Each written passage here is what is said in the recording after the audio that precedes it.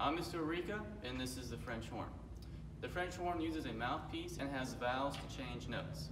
The horn is different from all the other band instruments because you put your hand in the bell. The horn is also used to play melodic and harmonic moments in music.